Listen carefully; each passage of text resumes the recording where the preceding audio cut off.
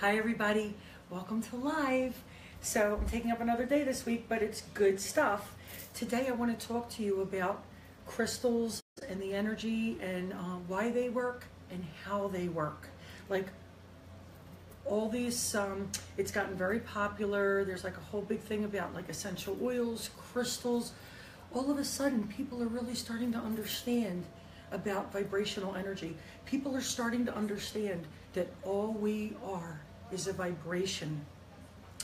So the crystals that come from the earth, okay, they vibrate just like the vibration in the earth. Everything that happens, everything that's living has a vibration.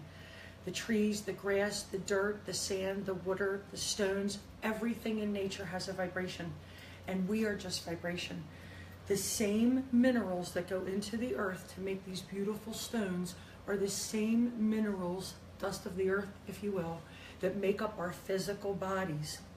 But through time, a lot of time, our um, energetic field gets a little damaged or um, loses some of its electricity because of um, emotional things, physical things that happen. But it starts with emotional because that's where the frequencies come from.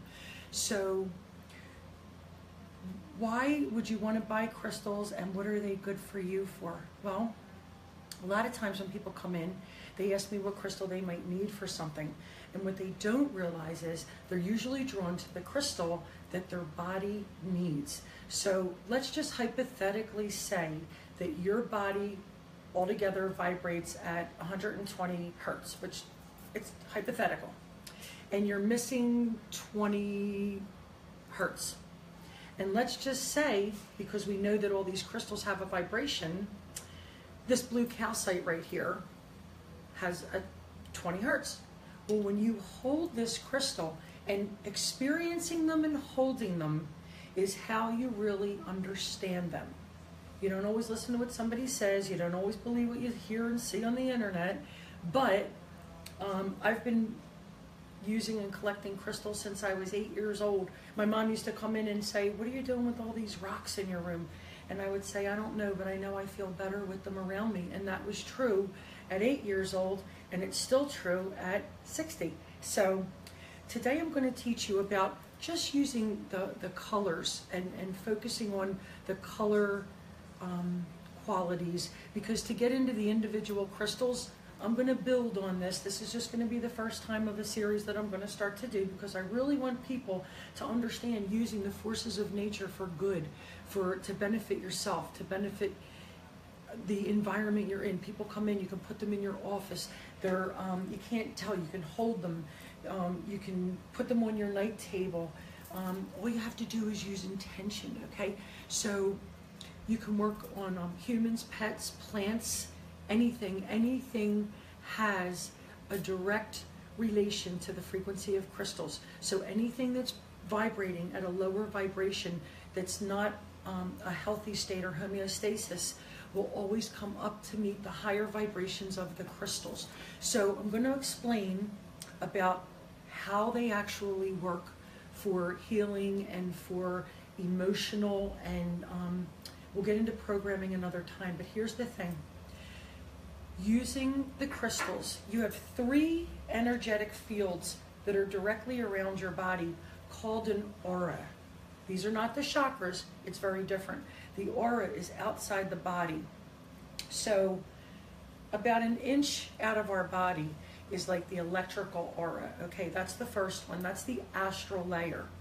That's the one that holds the energies and the blockages that are in our minds and the physical, I mean, I'm sorry, the physical body, okay?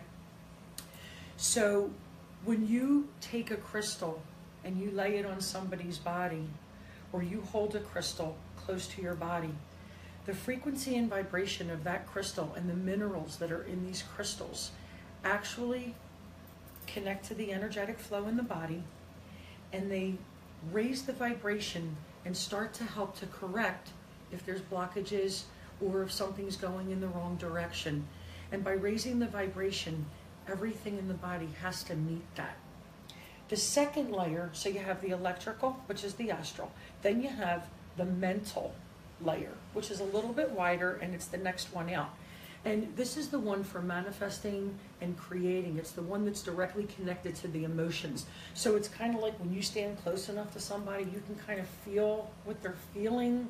Empaths, that's why, because their emotional thoughts are all in that that area of the aura, and that's connected to material abundance and to survival. The next layer of the aura, which is out here and beyond, okay, is the causal or spiritual layer of the aura. This is the one that connects us to every other soul through the ley lines of the earth, and it's the one that connects us to source. It's kind of like it comes off of our body and it gets plugged right into the earth. So we can use crystals just to help us have energy, recharge, reboot, or we can hold a crystal to help us to relax and repair, okay? So today I'm just going to use the colors and explain about the chakras. And for those of you that are not familiar with the chakras, that's another live also. So the first one I'm going to start with is the garnet. It's red. Now, it can be any red stone pretty much, but the red stone is for the uh, root chakra, which is located between the pubic bone and the coccyx.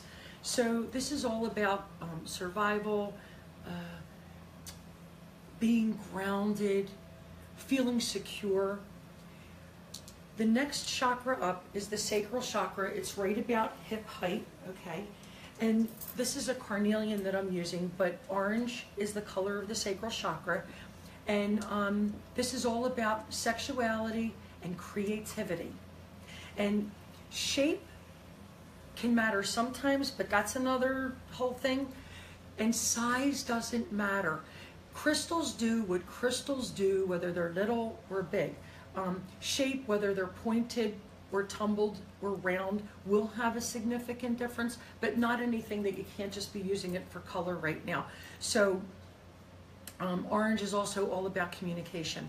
So, the next one up is citrine. I have a pretty tumbled one and I have a beautiful point right here.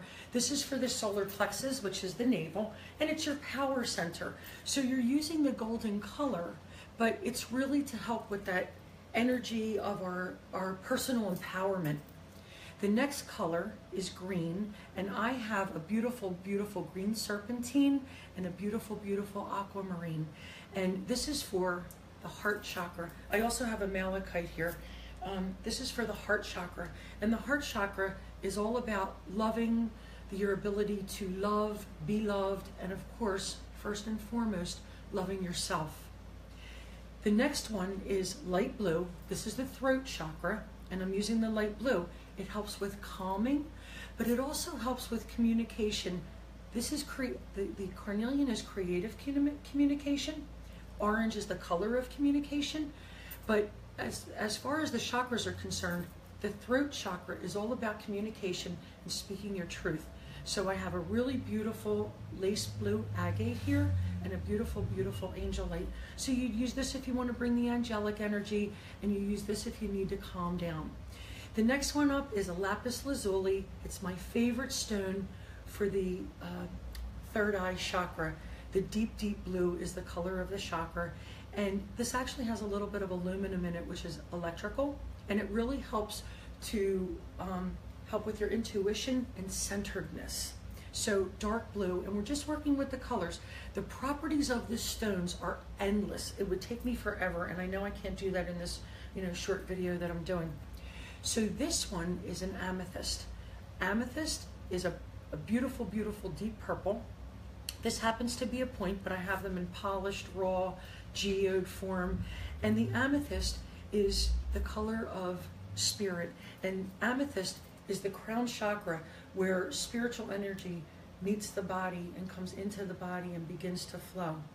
I have clear quartz here, and the thing I'm going to tell you about clear quartz is this it is the most powerful crystal on the earth. And most of the crystals all come from a base of this, but quartz crystal is the most healing, the most powerful, the most grounding. And because of its clearness, it can actually be programmed, which is how they program them with memory for computers and watches and things. But if you want to do a lot of intention work, these are really good for intentioning what it is um, you want to accomplish or you want to change um, within the self. And these are really the ones to use because of the non color, um, they get the clear information. However, you can use the colors and the shot, the stones with the colors in order to uh, catalyze whatever it is you want to happen, whether it's health, love, wealth. Like wealth would be green, love would be red, or unconditional love is pink. Um, healing is green. Green is all about balance in health, love, and money. So don't worry about choosing your crystals because your crystals will actually choose you. And you can use crystals on anything plants, pets, people. I mean, it's just wonderful. And think about this. I'm going to give you something to think about before I end today. When you go for a walk in the park and you're out in nature, you know what your body feels like, and you feel like you're one with nature, you're relaxed.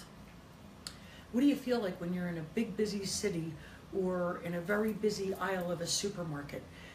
That's the difference with how we're affected with frequencies from nature and how we're affected by um, human resource, I guess, environments. So I hope that this was helpful. Obviously, if you need help with crystals, write to me, post something, ask me questions, whatever you need.